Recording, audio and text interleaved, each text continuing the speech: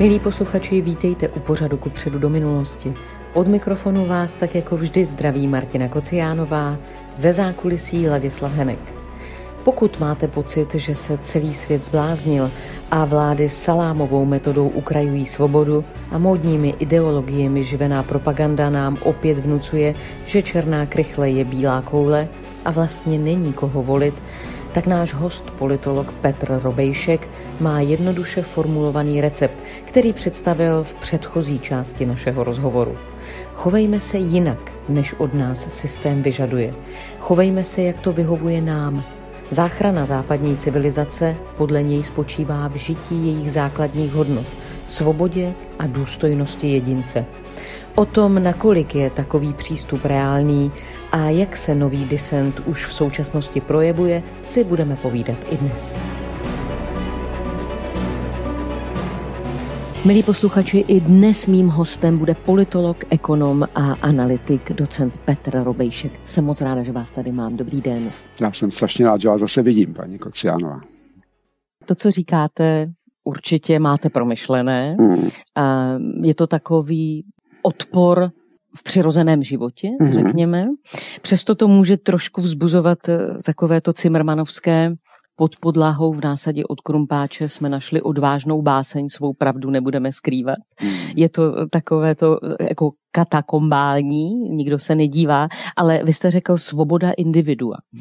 Ale vždycky může nastat to, že individuum má zápal slepého střeva a v tu chvíli potřebuje systém třeba. Potřebuje, no. Přece víme, že existuje alternativní lékařská komora. To, přes, to je přesně ono. To zná ten... Ta plísněná a dehonestovaná? No, to je úplně jedno, to je nezajímavé. Ona plní svoji funkci a je alternativní. Je to něco jiného, než systém chce. My si musíme uvědomit následující. Společnost, státní zpráva, státní organizace je tady původně vznikla a vlastně vždycky tak působila jako něco, co, co mělo uspokojovat potřeby lidí, včetně, dejme tomu, i těch zdravotních takto dlouhá desetiletí i fungovala, nebo aspoň ta ambice tady byla eh, takhle fungovat. Vlastně obsah té, té slavné společenské smlouvy. Že jo? My vám předáme naše daně a naší moc, nebudeme řešit problémy sami, vy to vyřešíte za nás a my vám důvěřujeme a budeme vás za to platit. To je taky třeba vidět. Že? Politici jsou zaměstnanci lidí. Budeme vám za to platit. To fungovalo hůř nebo lépe, ale fungovalo, aspoň ta ambice byla i na té straně těch vládnoucích. Musíme to nějak zařídit, aby vlaky jezdily přesně, aby každý dostal do, do lékařské ošetření a tak dále. Tahle ta, tahle ta situace se změnila. Teď nechci říct ani ze zlé vůle, nýbrž právě z toho, že ten systém, protože je jednostranně orientovaný na ekonomickou výkonnost a sice pod heslem více, rychleji, levněji, se dostal do, do bezvýchodné situace, protože už nedokáže plnit to, kvůli čemu vlastně existuje, uspokojovat potřeby obyčejných lidí a zároveň plnit to, co od něj očekávají ekonomičtí tycoons více, rychleji, levněji, volí to více levněji rychleji, protože ti, kteří to chtějí, jsou mu blíž a mají na něj spíše dosah, mohou ho spíše ovlivňovat, buď to uplatit nebo, nebo donutit tou či onou formou.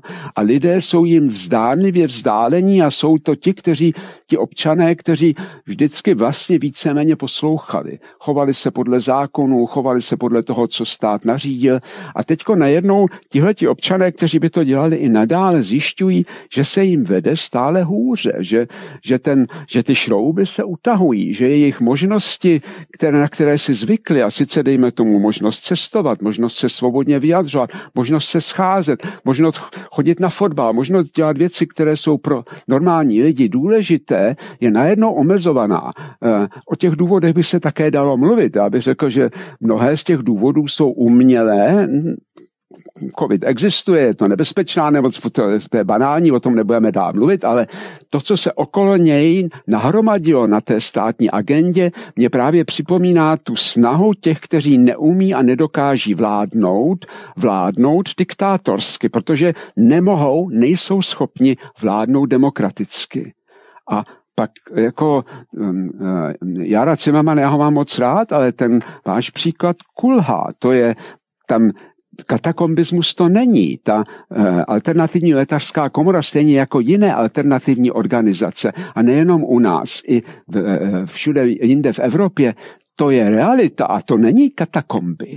V Německu najdete eh, v internetu portál, kde vám říkají, jste neočkovaní, my vás zaměstnáme. To není katakombismus. To je reálná jiná společnost a o ní jde. Vidíte někde eh, ve světě takovéto enklávy, eh, které už vytvořily takovýto paralelní život, paralelní svět, paralelní systém? jak jsem teď uvedl mm-hmm. příklady, takových je celá řada. To samozřejmě ještě neznamená, že tím je vyhráno. To neznamená, že takhle to bude fungovat pořád. To neznamená, že systém tu, kterou organizaci, která porušuje jeho požadavky, nechá jen tak být, musí vzniknout jiná. Bude, existují neúspěchy, existují pokusy, existují slepé uličky. To je normální evoluční proces. Důležité je, že existují, že ta společnost funguje jinak, než by od ní očekával systém a sice srazit patky a poslouchat. Že se tomu brání. Ona se tomu nebrání střelbou nebo nějakým násilím, a se tomu brání prostě tím, že nedělá, co systém chce, tak úplně a zkouší si najít východiska. Ve skutečnosti máte to, co se tady odehrává, je, že ta společnost sama musí suplovat, to znamená nahrazovat, vykonávat to, co dříve dělal stát.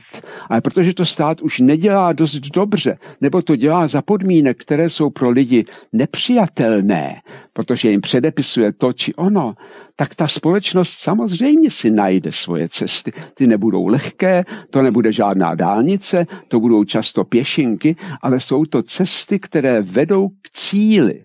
A je třeba ještě říct jedna věc. Jsme se bavili o tom, proč ten, eh, ta tendence k současnému totalitarismu je podle mého názoru eh, hůře vybavená šancemi, to zná, nemá velké šance uspět. To spočívá i v tom, že situace, ve které se západní společnosti dnes nachází, je těhotná krizemi. Už krize už tady jsou, inflace, energetická krize a tak dále. To znamená, ta situace sama o sobě vytváří tlak k tomu, aby se lidé o sebe postarali sami tam, kde jsou.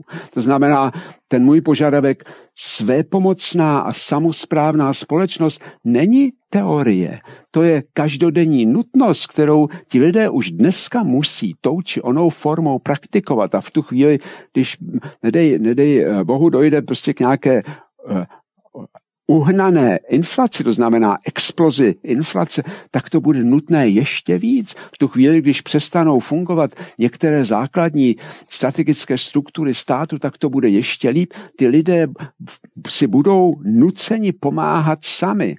Nejenom, že stát už to nezvládne, dokonce jim stát překáží. Oni to musí dělat sami, protože nikdo jiný není. A máme tady vedlejší společnost, která je ta skutečná.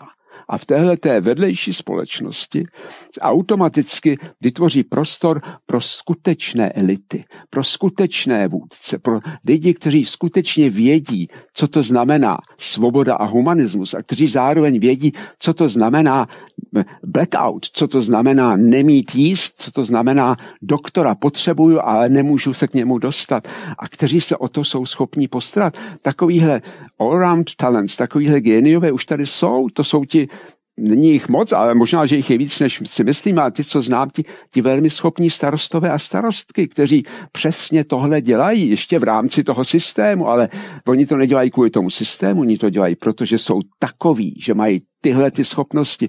Ty schopnosti, které tyhle ty lidi vlastně znevýhodňují v tom, aby vystoupili nahoru, protože nahoře tyhle ty schopnosti žádané nejsou. Eh, pane docente, mnozí říkají, stát se postará, nebo naopak si stěžují, stát se nepostará, ale my tady ještě máme nadstát. Eh, my tady máme Evropskou unii. Myslíte si, že v současné době krizí, jak jste je pojmenoval, hmm. a také jste pravděpodobně připomenul, že mnohé krize teprve přijdou, že jsou na spadnutí. Myslíte si, že v této situaci ještě může Evropská unie držet pohromadě? Já si myslím, že ta, z části je ta situace, která je způsobená, kterou tady, tak říkajíc, pitváme, je z části způsobená právě tím, že z části, že Evropská unie chce právě za každou cenu zůstat taková, jaká je, respektive používá některá témata dneška, dejme tomu to klimatické téma, ale i zdravotní téma, nebo téma gender a podobné politické korektnosti využívá k tomu, aby se mohla, aby mohla posílit. Aby nakonec to, o co ve skutečnosti těm, ehm, kteří sedí na, na pákách moci v Evropské unii a ti, kteří stojí vedle nich a říkají mi takhle udělej, o co jim vlastně jde, a sice centrální stát Evropa. Ale zároveň je to, co jste popsala, eh, pravdivé. Všechno hovoří proto, aby se, aby se ta, ta struktura atomizovala. Všechno uh, započato, započato rozkladem globalizace uh, svěřuje k tomu, že malé celky, malým celkům patří budoucnost. A to, co zažíváme i v té Evropské unii a to, co zažíváme v kontextu celosvětových událostí, je zase hysterický, násilný pokus udržet globalizaci. Jejichž čas skončil, který prostě jejichž potenciál eh, blahobytu a zároveň svobody se vyčerpal. Ona fungovala velmi dobře určitou dobu. Teď už přestává fungovat, protože byla zneužita nebo eh, instrumentalizována těmi, kteří z ní nejvíc profitovali, aby eh, z ní profitovali stále více a, a přesto, že už eh, ztrácí ten svůj vnitřní energetický moment, tak ji chtějí petrifikovat. To znamená, ta snaha centralizace je něco, co nepatří do dnešní historické fáze. Takže moje prognoza pro Evropskou unii je negativní. Teď mě jde jenom o to, eh, za jakých podmínek dojde k jaké formě, v jaké rychlosti její dekompozice, abych to řekl cizím slovem a, a tím pádem, ale úplně jasně rozkladu. Když říkáte, že současná doba, budoucnost nepřeje centralizaci, ano. týká se to třeba i Spojených států? No my se na ně můžeme podívat a vidíme to. I když Spojené státy sami o sobě, když eh, ten systém kdyby ten systém fungoval tak, jak byl nastavený um, otci zakladateli, uh, tak by byly vlastně ideální konstrukce, ale tak, tak to už dávno není. Že? Na tom také vidíme to téma, které mě hodně zajímá, sice, že překrásné instituce eh, eh, od, od nejvyššího soudu přes ústavu a já nevím, co všechno fungují jedině, když v nich jsou také překrásní lidé, to znamená eticky, morálně a kompetenčně kvalifikovaní. A to bohužel ve Spojených státech také není. Tam není situace o nic lepší než u nás. To znamená, eh, tam máme stejné, stejné tendence k nějakému kulturnímu boji, k, k vytváření nějakých prazvláštních nebo uskutečňování nějakých prazvláštních ideologií, ale zároveň zároveň i silná tendence těch eh, ekonomicky mocných být ještě mocnější a nakonec vládnout nejenom ekonomice, ale vládnout i politice. A to všecko, tu, tu společnost, která je ve své struktuře a ve svém založení vlastně eh, ideální konstrukt velkého státu, Eh, znemožňuje, aby tak fungovala, jak by měla nebo mohla. Rozpad, atomizace, rozdrobení, ať už Spojených států nebo třeba Evropské unie, hmm. jakožto celku, je něco podobného možné bez hlasitého třesku a bez hroucení a bez hoření hmm. hranic, barikád a podobně? Já pevně doufám, že je, ale bojím se, že možná není. A sice to druhé možná není, eh, je tím pravděpodobnější, čím později začneme na to reagovat. A tím, myslím, tím nemyslím politiky, od kterých, o kterých si nedělám žádné iluze, protože eh, ta jejich reakce by, kdyby reagovali konstruktivně, tak by museli vlastně oslabit svoji moc. Ne přímo odstoupit, ale oslabit svoji moc, sdílet svoji moc s, s lidmi a strukturami pod nimi. To znamená, to, to, to těžko se, těžko se od nich dá očekávat. Na to potřebuje člověk mít opravdu jako morální a, a intelektuální velikost. Takže tenhle ten, mm, eh, tohleto nebezpečí tady bez zesporu je. My jsme měli i historicky eh, minimálně tři šance tu nutnou reformu západní civilizace, přizpůsobení právě západní civilizace tomu, v jaké fázi se, se hospodářsky a sociálně nachází, to jsme měli už v 70. letech minulého století, kdy prostě tenkrát to byli zelení, kteří přišli s tou, s tou ideou um, žijeme úsporněji, žijeme ličtěji, hledejme jiné hodnoty, postmaterialismus, ne ty materiální hodnoty jsou důležité. Další šance byla um, při zlomu 90. letech, kdy prostě skončil uh, konflikt západu a východu a v tu chvíli se mohli na pravidla nastavit úplně jinak. Západ mohl říct, tak a teď, teď budeme žít jinou společnost. Když si vzpomenete na pařížskou chartu, tam se to hemžilo jenom bratrstvím a svou spoluprácí. Kdyby to opravdu vzali vážně a snažili se opravdu o spolupráci těch, těch všech svobodných, tak by to, tak by to, jsme neměli dneska tu kritickou situaci, jenomže tenkrát se zmocnili, zmocnili um, kormidla opět ti, kteří vlastně, které zajímá jenom ekonomický zisk. A bohužel my hladoví tady ve střední Evropě, my osvobození, jsme tolik toužili a já to nikomu nevyčítám. Jsme tolik toužili po konzumu, že jsme, že jsme tu hru nadšeně hráli s nimi. Opravdu nikomu to nevyčítám, úplně to chápu, ale to byla další šance. A poslední, to bylo poslední zvonění, 2829 při bankovní krizi. To už by šlo potom jenom s jenom rigidními metodami, to znamená ukončit finanční, eh, finanční kapitalismus v té formě, v jaké existuje, zbavit banky těch privilegií, které měly a spousta dalších věcí. Ani to se nestalo, ačkoliv i tehdy jsme slyšeli rozhodná slova, zejména třeba od hm, tak obdivovaného eh, Baracka Obamy. Nic se z toho neuskutečnilo. Eh, teďko to vypadá, že to asi nepůjde jinak než od spodu. A ještě pořád to jde míru milovně. Když budeme my tady dole fungovat tak, jak jsem se snažil naznačit a jak se pořád snažím proto získávat, získávat podporu. To znamená žít tu lepší společnost od spoda, tak můžeme ten dopad změkčit a dokonce, když budeme mít velké štěstí, můžeme zavést jakousi harmonickou přestavbu společnosti, ale musíme to začít dělat. A my intelektuálové, my demokratičtí intelektuálové, musíme v tomhle lidem pomáhat a ne pořád jenom dělat archiváře toho, jak se nabere špatně. Pane docente, eh, od spoda dělat eh, společnost. Ivo Jahelka zpíval, eh, že se schody nezametou, byť by byly z mramoru, nikdy z dola nahoru. Teď si říkám, jak to půjde, protože eh, když jste vzpomínal alternativní lékařskou komoru, hmm. ano, to si umíme představit, umíme si představit ostrovní systémy, umíme si představit malé soběstačné celky, ale co třeba mm, alternativní armáda, to už zavání e, něčím velmi třaskavým. Dobře, ono se dá samozřejmě spochybnit cokoliv eh, a jistě by bylo špatné začít nahoře, protože to jsou ty pokusy tady máme. Každý z nás právě z těch eh, eh, mých oblíbených bratří a sester demokratických intelektuálů má přesně jasnou představu o tom, jaká by měla být ústava, co by se všechno mělo udělat a sice pokud možno mávnutím proutku a jak by měla být mír, jak by měla vypadat mírová, jak by měla vypadat klimatická, já nevím co všechno, ideálně organizovaná společnost. A na co nám to je?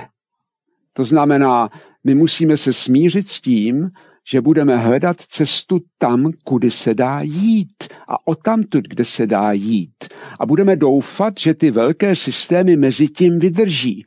To se podaří tím spíše, když my dole nebudeme reagovat militantně, to znamená násilně, nýbrž prostě žít si svoje životy tak, jak je vlastně musíme v té samozprávné a sebezáchovné situaci, ve které každá, každá máma, každý táta je, když se má postarat o svoji rodinu, o to, aby se jim vedlo dobře. A k tomu se spojí se soudcenama, kteří, si, kteří vlastně chtějí totež a, ne, a budou doufat, že ještě pořád bude fungovat zásobování plynem a elektrikou a že nevypukne válka. To nic jiného nemáme. Nic jiného nemáme. Nebo, nebo prostě čekat a modlit se. pořádku, ale to pro mě není dostatečná, dostatečně uh, intenzivní a uh, smysluplná cesta. Eh, pane docente, každý tlak vytváří protitlak. Mm. Stejně tak jako každá odstředivost mm. vyvolává snahu připoutat. A přesně tak reaguje i Evropská unie, mm. i Spojené státy, jakmile cítí odstředivou tendenci mm, mnohých států, ať už je to Maďarsko, Polsko a podobně, mm. tak na to reaguje tím, že se snaží ještě více jak, si, jak sobě přitáhnout a zpřísnit určité regulativy. Povězte mi, co, co s tím přece nemůžeme očekávat, že si Evropská eh, unie bude tolerovat eh, to, že si už tak nějak všichni žijeme svým vlastním životem a jenom občas se na ně obrátíme v rámci nejrůznějších, nejrůznějších věcí, jako je společný trh a společná obrana Evropy a podobně. Vy stále už u cíle, že vy jste už tam, že vlastně máme nějakou alternativní strukturu. Já jsem... Já spíš mluvím o tendencích, no, protože... No, no, no dobře, ale ty, ty, ty, jako tendence potom můžou být silnější, menší, podle toho, v jaké fázi procesu jsme. Evropská unie má dneska svých starostí dost ta, ta, se stará, ta se stará o věci, které se, které se nás tady dole jenom velmi zprostředkovaně týkají, respektive jenom velmi zprostředkovaně mění naší situaci. Ta, ta, ta, ta kritická situace západní civilizace by existovala i bez Evropské unie. Evropská unie je jenom jakýsi, jakési logo nebo jakýsi, jakási instituce, která v rámci téhleté mocensko-politické konstelace funguje a snaží se nějakým způsobem uskutečňovat, uskutečňovat svoje plány. A e, to, to je jeden bod. A, e, a druhý bod je, i ten silný reaguje. A ani ten silný neprosadí to, co chce. Teď se podívejme na to co dělá Maďarsko, co dělá Polsko. Chovají se tak, jak si to přeje Brusel. Nechovají. Orbán takticky ustoupí tu či onde, ale ve skutečnosti strategický směr jeho snažení, stejně jako strategický směr Poláků, zůstává stejný a Evropská unie nemůže udělat nic, žádná moc nemůže udělat nic. To znamená, my tady máme eh, na té druhé straně není omnipotentní vládce světa. Na té druhé straně je také uzlíček nervů, dokonce bych řekl větší uzlíček nervů než na té, na té naší, protože my máme, my máme strach, my máme nejistotu, my, my, my, my chceme uspořádat náš život co možná nejrozuměji, ale on, jim jde o existenci, o moc. Když tyhle ty věci prasknou, tak mnozí vládci se mohou ocitnout před soudem. To znamená, to, to je úplně jiná situace, než je ta naše. To je, to je obraná, vlastně destruktivní a ta naše je obraná, ale konstruktivní. Oni uchovávají starý systém. My chceme vytvořit nový systém. To je v tom, nejenom v tom směru, ale i v tom náboji, který to v sobě má. Jedna destrukční vlastně útok na Bílý palác, jo, tam sedí Kerenský a jeho vláda a t- tam vtrhnou ti, ti um, rudoarmějci a ti bývalí um, majitelé moci um, jsou prostě oběti událostí a, a nebo jsou to prostě ti, kteří mají tu vůli, motiv, možnosti a nadšení zlepšit život, odvrátit něco, co je špatně co vědí a udělat tím pádem věci, které ten, který jenom brání uh, svoje claims, svoje majetky, uh, udělat nemůže. Pane docente, vy jste zmínil, že kritická situace západu by byla stejně i bez Evropské unie. A s tím se nedá než souhlasit, protože se člověk opravdu může podívat do Ameriky a ví, že je to velmi podobné, ba co víc, jako by měli ještě nakročeno více. Hmm. A na to se chci zeptat, přestože má Evropa různý historický vývoj. Jsou tady země západní Evropy, je tady střední, východní hmm. Evropa, jsou tady spojené státy. A přesto, když si přečtu myšlenky amerického komentátora Paula Weiricha, které řekl před více než 20 lety, eh, tak si člověk říká, jak je možné, že mm, to tolik lidí vidělo a eh, přesto jsme naprosto neomylně postupovali hmm. k tomuto konci. On řekl, Spojené státy se rychle blíží tomu, že se z nich stane stát se zcela převládající cizí ideologií, která je silně nepřátelská vůči západní kultuře. Poprvé za svého života si lidé musí dávat pozor na to, co říkají. To se v historii naší země ještě nikdy nestalo. Ale řeknete-li dnes něco špatně, můžete mít právní problémy, politické problémy, můžete dokonce ztratit zaměstnání nebo vás vyloučí ze školy. Určitá témata jsou zakázána. U celé řady témat se k pravdě nesmíte ani přiblížit. Když to uděláte, označí vás okamžitě za rasistu, sexistu, homofoba, necitlivého nebo plného předsudků.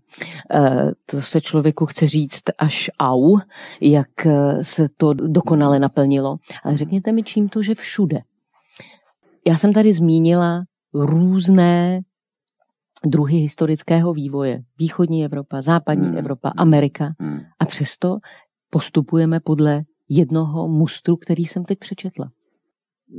No, vývoj tak, vývoj tak vypadá, ale já bych mm, rád upozornil na to, že eh, ten rostoucí tlak, a to je, myslím, asi ta nejsilnější proměna, lidé jsou ochotni opustit tu svoji relativně komfortní zónu normálního života, jedině když už to jinak nejde. To bohužel tak je. My se prostě, my třeba víme, co by se mělo udělat, ale zatím se necítíme nuceni to udělat. A od jistého okamžiku se ale potom cítíme nuceni to udělat, protože nám už nic, nic ne, už nám to jde moc daleko. Mm. Nemáme už prostě jinou další volbu.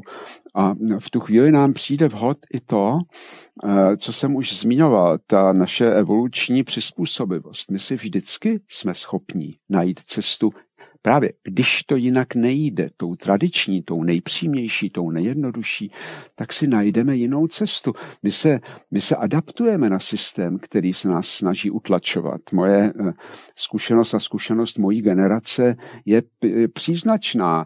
Země jako z osobnosti komunistická výchova a, a 30 let života v, v komunismu komunistu neudělalo a, a z většiny ostatních také ne. A v tu chvíli, když už nebylo nutné říkat, samozřejmě souhlasím nebo neříkat nic, tak lidé byli najednou všichni v odboji. Takže ten, a mnozí opravdu byli, jo, ne, ne, jistě ne všichni, ale eh, to znamená ten, ten vnitřní souhlas a vnitřní konformita s tím, co se od nás očekává, není něco, eh, co je, co je automaticky dané. To znamená, Situace, ve které dneska jsme, je taková, že nás nutí hledat alternativní cesty. A teď my tady vlastně celou dobu o ní mluvíme, když eh, já, já eh, propaguji tu, prostě tu naší společnost, eh, vedlejší společnost. Společnost, která taková musí být, protože ten, ta, ta, ta oficiální společnost přestává plnit úlohy, které oni očekávám. To znamená, to není nic ideologického, to je prostě,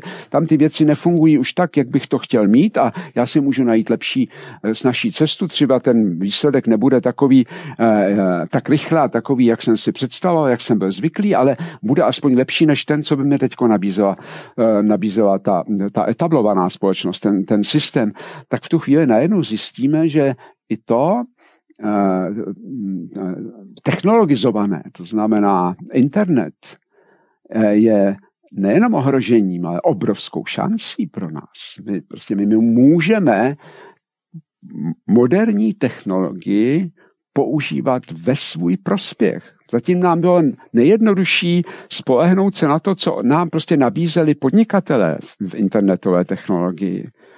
Teď už se nám to mnohdy nelíbí a důsledkem není, že rezignujeme, ale důsledkem je to, že vzniká spousta alternativních informačních zdrojů, form, eh, eh, prezentací, konexí. To znamená, tady z hlediska toho etablovaného systému se vytváří jakýsi rušivý šum, který překáží tomu jednoznačnému proudu oficiálních sdělení a příkazů a možností.